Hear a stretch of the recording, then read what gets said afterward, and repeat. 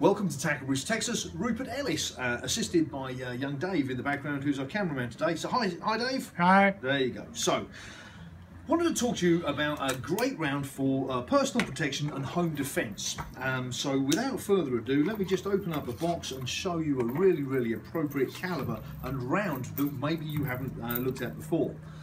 Obviously it's the 38 special round uh, and this has been around for a fair while now and, uh, and we all know, love and trust this round, don't we? In fact, uh, myself and my wife, uh, I have a 357 uh, Magnum revolver which I fire 38 special through because that way there's so little kick and so little recoil, it's just a delight to shoot.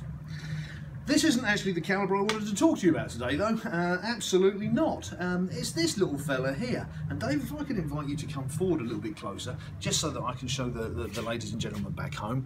Uh, hopefully that's being picked up okay against my t-shirt because what you're looking at there is a 22 Magnum, a 22 Magnum round. So 22 Magnum and 38 Smith uh, special. Ooh, 22s. Here we are talking about 22s as being a good round for personal protection and home defence. Well, yeah, it really is. Um, it really is. Uh, and, and you know, you, there's people out there who will tell you that you can kill an elephant with a 22, um, but this is a 22 Magnum. It's a slightly different story. And, and we have revolvers, just like this fabulous little Charter Arms uh, Pathfinder, that are calibered in 22 Magnum. So why do I uh, why do I mention this today? Well, it's a strange thing because uh, I, have um, I've a pal of mine who's a who's a football coach who had occasion earlier this year to, to shoot a, a, a wild boar or a, feral hog, I should say, uh, on, uh, on, on the uh, on the grounds of the, their training pitches one morning. It was about a 350 pound pig, and, and, and ironically, the only gun he had to hand was his little 22 Magnum. And, and, it's weird, isn't it, that a 350 pound feral hog, uh, something that's got bristles about yay long on it, uh, that's a densely muscled and fatty, you know, how many people do you know that weigh 350 pounds that have got hair on them that long?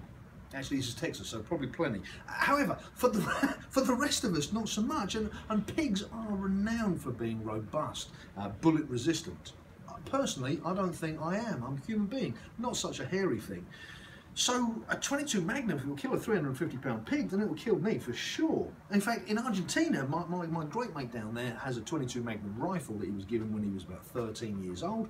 Uh, and uh, he's now, uh, he's a bit older than me, so he's knocking on the door of 60. Uh, probably a bit older than that now, Patricio. Anyway, hi, uh, Patricio from Texas. Now he's shot, uh, so he says, about 7,000 black buck with this 22 Magnum. He shot red stags and he shot all manner of other animals down there too. It was the gun that he had when he was a kid.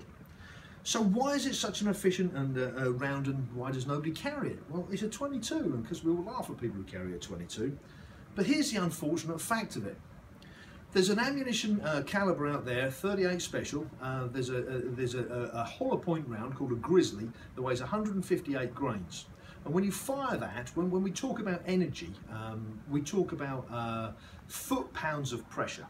There was a fellow Einstein, uh, E equals mc squared, energy equals mass uh, by, who cares. Anyway, long story short, foot-pounds of energy. 327 foot-pounds of energy, or thereabouts out of the 38 special. Your 22 Magnum, this is a much smaller bullet, but it's going really quick. It's going 2,200 feet per second. So for 2,200 feet per second, how fast is that? That's 1,500 miles an hour. That's twice the, the speed of sound. Uh, it's a supersonic round going twice the speed of sound, no kidding.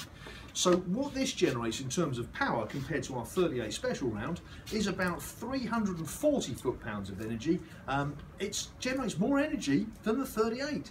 You know, we wouldn't think twice about going out with a lever action rifle and going shooting hogs with 38 special ammunition, and we loads and loads of us carry 38 special for our personal protection needs. Yet this little 22 Magnum generates more power with less recoil, the ammunition's cheaper and is readily available now. So, weird, isn't it? 22 Magnum. If you're looking for a caliber for home defence uh, and uh, you really, uh, you know, you're not um, great with recoil, if you if you, you, prefer a gun with very little recoil, this may well be the caliber for you.